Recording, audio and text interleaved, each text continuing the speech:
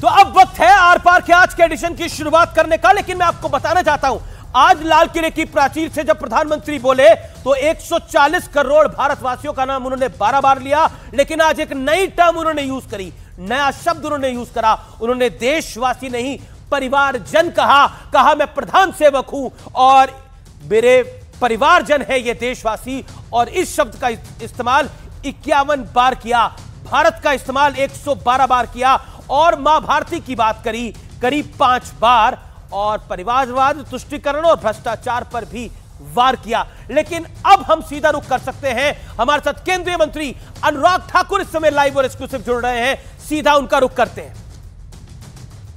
और इस समय हमारे साथ केंद्रीय मंत्री अनुराग ठाकुर इस समय लाइव जुड़ रहे हैं। सीधा उनका रुख कर लेते हैं और आज बहुत बड़ा दिन है। आज आज़ादी का जश्न मना रहा है सतहत्तरवा इंडिपेंडेंस डे है। अनुराग ठाकुर, प्रधानमंत्री ने लाल किले के प्राचीर से ऐलान कर दिया है कि अगले साल भी तिरंगा हम फहराएँगे, यानी वही फहराएँगे।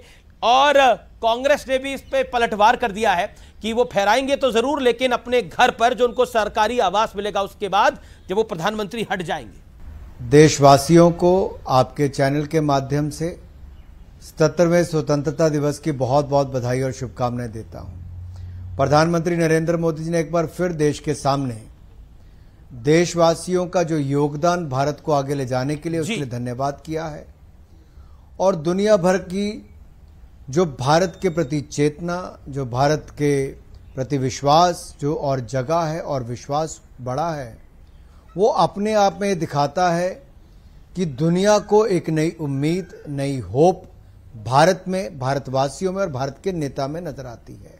अब इसीलिए उन्होंने कहा कि मेरे पर, मेरे परिवारजन 140 करोड़ भारतीयों को परिवारजन कहकर संबोधित करना इसलिए किया कि इस परिवार से दुनिया की बहुत सारी उम्मीदें हैं अपेक्षाएँ हैं हमें उन पर खरा उतरना है।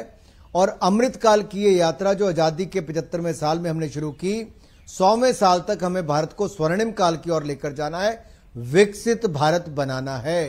इसीलिए फिर एक बार मोदी जी का देश का प्रधानमंत्री बनना ज़रूरी है और परिवारजन ही बनाएँगे, क्योंकि कांग्रेस ने तो भारतवासियों को राक्षस कह दिया है।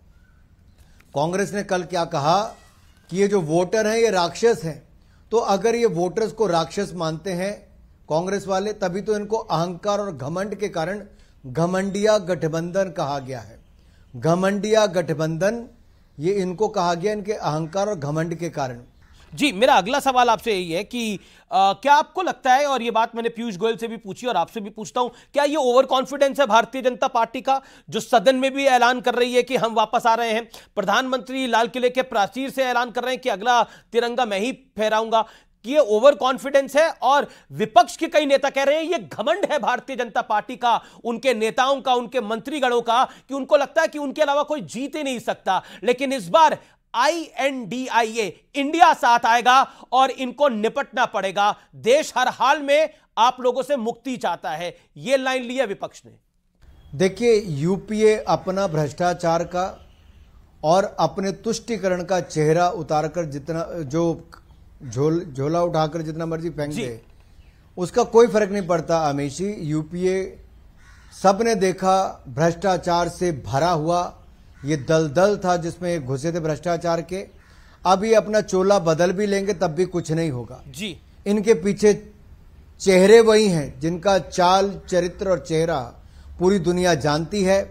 और ये घमंडिया गठबंधन जो है इनकी पास ना नेता है ना नीति है और इनकी नीयत में भी खोट है। आप मुझे बताइए इन घमंडिया गठबंधन के पास कौन नेता है? कौन इनका प्रधानमंत्री पद का उम्मीदवार है? जहाँ एक और पश्चिम बंगाल आता है तो ममता बनर्जी जी कांग्रेस को और कम्युनिस्टों को घुसने नहीं देती हैं। बिहार की बात आती तो नीतीश कुमार जी और लालू जी उनको नहीं घुसने देते हैं। उत्तर प्रदेश की बात आती है, अखिलेश यादव उनको नहीं घुसने देते हैं। तमिलनाडु की बात आती डीएम के उनको घुसने तो आएँगे कहाँ घमंडे या गठबंधन के लोग? महाराष्ट्र की बात आती है तो शिवसेना और ये क्या, शरद पवार जी की पार्टी, वो वहाँ पे उनको बहुत कम सीटें देती है। और एक और जो ओबीसी का इतना अपमान किया राहुल गांधी जी ने तो ओबीसी तो इनको वैसे ही नज़दीक नहीं लगने देते। तो इनका घमंड और अहंकार जहाँ इनको एक और राक्षस कहने जनता को राक्षस कहता है तो जनता भी उनको मुँह तोड़ जवाब देगी और उसी व्यक्ति को जो जनता को अपना परिवार मानता है उनका समर्थन करेगी और परिवार परिवारजन के रूप में मोदी जी ही जनता को मानते हैं। आप भी long long standing member of parliament हैं। आप भी युवा हैं मंत्री भी हैं केंद्र के अंदर। राहुल जी भी आ, हम कह सकते हैं 20 साल के अब सांसद हैं। वो कुछ समय के लिए डिसक्वालीफाइड हुए लेकिन अब फिर क्वालिफाइड हो गए हैं। उनकी वापसी हो गई है। एक सवाल मेरे मन में आता है आपने सदन में उनका भाषण भी सुना। क्या आपको लगता है कि एक बड़ा मौका था राहुल गांधी के पास और उस बड़े मौके को राहुल गांधी इस्तेमाल कर सकते थे अच्छे तरीके से। देखिए पहली बात तो यह कि ऐसे मौके उनको कई बार मिले राहुल गांधी जी, जी को।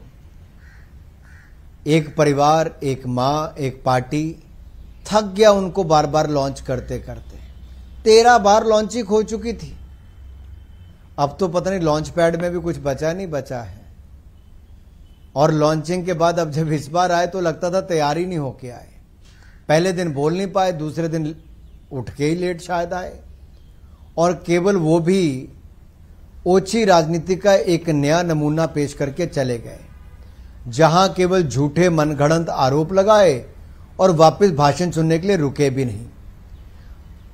ज़्यादातर पार्लियामेंट में होता है कि जो व्यक्ति भाषण देता है, अगले दो घंटे कम से कम अंदर बैठते हैं, ताकि दूसरे लोग उनके भाषण पर क्या प्रतिक्रिया करते सुने। जी।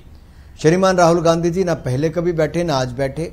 लेकिन ओबीसी का अपमान करना और फिर माफ़ी ना मांगना, एक तो वो घमंड। दूसरा सदन ना चलने देना, वो घमंड और अहंकार। और तीसरा झूठे आरोप लगाना और दो ट्राइब्स के बीच में लड़ाई चल रही थी मणिपुर में। हमने उनसे सवाल किया कि श्रीमान राहुल गांधी जी, आपने कहा कि दो मिनट में मोदी जी मणिपुर की लड़ाई को बंद करा सकते हैं। मैं पूछना चाहता हूँ आपकी तो दादी और उन फिर उनके पिता फिर उसके बाद आपके पिता। ये सब लोग प्रधानमंत्री रहे। ये दो मिनटों में मणिपुर की हिंसा क्यों नहीं बंद करवा पाए? कई कई महीने वहाँ पे हिंसा रहती थी। पेट्रोल एक एक हज़ार रुपए लीटर बिकता था। डीजल सात सौ रुपये लीटर बिकता था। छह छह महीने मणिपुर बंद रहता था। और एक कांग्रेस की सरकारों में रहता था। मिजोरम में तो इंदिरा गांधी जी ने बॉम्ब से हमले करवा दिए भारत इंडियन एयरफोर्स के माध्यम से। क्या राहुल गांधी जी उसका जवाब देंगे? और इनका इतिहास ही ऐसा रहा है कि सिखों के प्रति जो घृणा देखी गई इनके समय जो कतलेआम हुआ सिखों का और राजीव गांधी जी ने उसके बाद कहा कि जब कोई बड़ा पेड़ गिरता है तो धरती हिलती सब देश ने सुना है। इन्होंने माफ़ी नहीं मांगी। दूसरा अ, अकाल तख्त पर हरमंदर साहब ने जिस तरह से फौज भेजकर उन्होंने कार्रवाई करवाई उन्होंने देश से क्या माफ़ी मांगी? देश ने देखा है। ये तो देश को बांटो और राज करो की राजनीति करते रहे। इसलिए आज भी दिखता है कि कैसे ये लोग देश को तुष्टिकरण की राजनीति से अपना केवल वोट बैंक बनाना चाहते हैं। मेरा मेरा आपसे अगला सवाल है आ, क्योंकि बात हो रही थी आपने बोला राहुल गांधी बीच में उठ के चले गए उन पे एक इल्ज़ाम लग गया कि उन्होंने एक फ्लाइंग किस दी है यानी हवा में एक चुंबन लहराया है जिसको लेकर बीजेपी की महिला सांसदों ने शिकायत तक दर्ज कराई। अधीर बाबू थे अधीर रंजन थे उनको निष्कासित कर दिया गया। तो कांग्रेस कह रही है लोकतंत्र की लगातार हत्या हो रही है जहाँ पर एलओपी को निष्कासित कर दिया जाता है और एक मनगढ़ंत आरोप लगाया गया। हालाँकि केसी वीरू ने उसके बाद जो बात कही वो हम सबके सामने है। क्या कहना चाहते हैं इन दोनों विषयों पर आप? अधीर रंजन चौधरी